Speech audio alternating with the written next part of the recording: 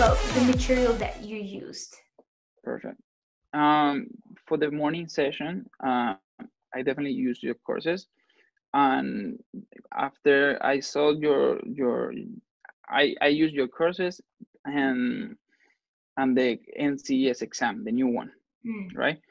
So what I what I did um, is once you once you talk about something that that that I saw it on the on the once I was reading it the the NCEES when once you you you say something that was on the exam I really took notes.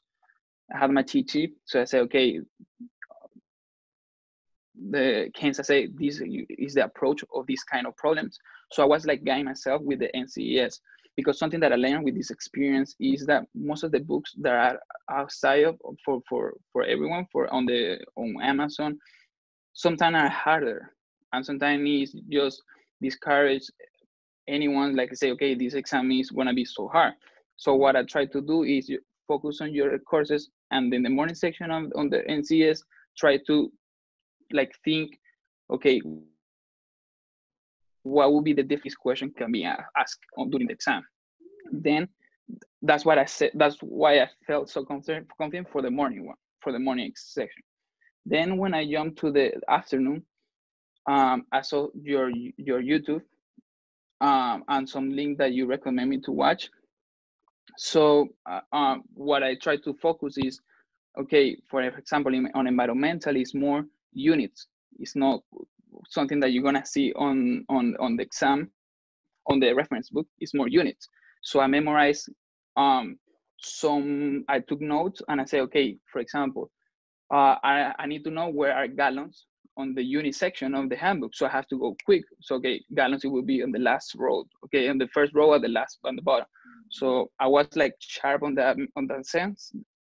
Then also i i took note of the ones or the units that that could be asked, but but they are not on the on the handbook. Like for example, acres, that you have to be aware that if you want to convert um, feet feed uh, feet square to acres, is is there? It's not on the on the unit. So I took note on those. So that's how I prepare myself for construction and for surveying. Then what I did, for example, in geotech, on uh, is um, I saw the, your your video, so I focus on the topics that I that I know. The that on on I focus on the topic that I know, and I had a, like an idea. I I for the ones that I didn't know, for example, retain walls. What I did, I I used this step. I I, I saw that problem and say, okay, this is something that I didn't see in the school. But if I had this problem, I'm gonna try the steps. Okay, first you have to find this. The area has to be measured from here. So I had like a guide on the ones that I felt that that was hard. For the ones that I that I, that I know that are those topics I can I can do it. Basically, I watch your videos for techniques, and then I just try to do some exercise that friends just gave me. Okay. Oh, that's amazing. Okay, so yeah. we're going to take a step back here a little bit and just kind of discuss the materials. So, did you get the FE Bytes course and the statics course as well? You got both? no. You just got just the morning. Okay. Yes. Um. So you, when you t- took the NCEES practice exam, did you take it as you took it as a practice exam, right? You didn't try to study off of it.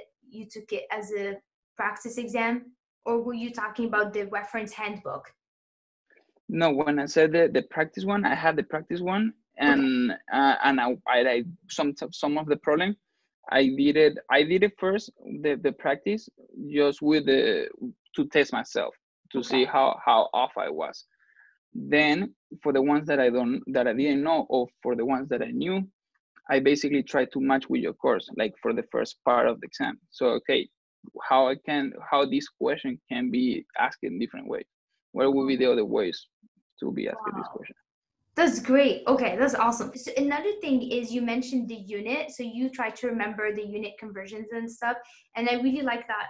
Actually, Pranita did the same thing and she created a cheat sheet just for units and she shared it with me and she wanted me to share it with you guys. So it is on the course. Were you able to, to check it and look at it? Did you use it at all? Mm, no, I did my own because I wanted just to try and narrow which one are the ones that I really uh, the ones that I really gonna use or the ones that I for by experience i gonna i knew it on the on the reference manual yeah that that's smart. So a lot of times like students would email me like hey can i get the cheat sheets? And i feel like like the cheat sheets you really have to create it on your own because some yes. of the stuff that i might add in that cheat sheet you probably already know it and some of the stuff might not be there and you actually need it. So i usually recommend a lot of my students to create your own cheat sheet as you go. Yes because if you saw uh, something that you never knew you never know that if you say something new you're gonna be stressed. You say how i'm gonna use this so then you're gonna be just focusing on you're gonna spend a day or two days saying, okay, this conversion, I need a problem to, I need to find out a problem that say that I'm gonna use this part of the sheet. So I just prefer to create my own. So that's it guys for today's video. Let me know in the comments below what is your biggest study tip. So just share that with us. And if you guys like this video, please give me a big thumbs up. Don't forget to subscribe for new videos every week. Thank you guys for watching. Good luck with your studying and I will see you soon. À la prochaine. Oh